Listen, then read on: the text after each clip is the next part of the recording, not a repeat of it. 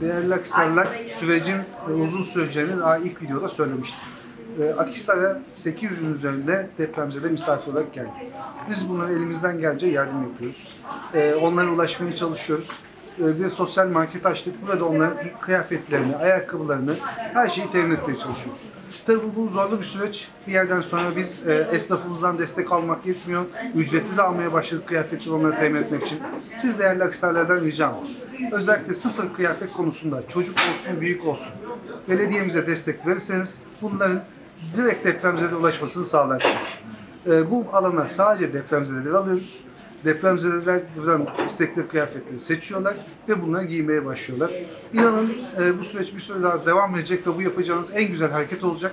Bu bakımdan başta esnafımız olmak üzere tüm aksarlardan kıyafet konusunda, ayakkabı konusunda tüm desteği bekliyorum.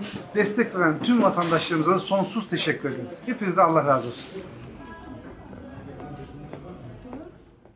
Çok geçmiş olsun. Akrabalar yanına mı geldiniz? Sizin yanınızda mı? Ne güzel, ne mutlu. İyi, hoş geldiniz efendim. Ee, bir ihtiyaç bir şey olursa zaten arkadaşlar konuşmuşlardır. Elimizden geleni yaparız. Çok sağ olun efendim. Kendinize iyi bakın. Nereden gelmiştiniz? Beş kişi mi? Annem babam, iki de çocuğum. İki çocuğum.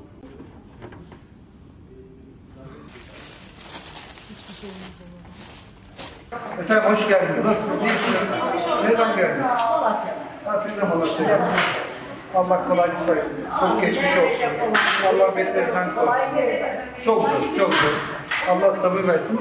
Bir ihtiyacınız bir şey var mı yapmamız gereken bir şey? Elimizden geleni yaparız efendim. Elimizden geleni.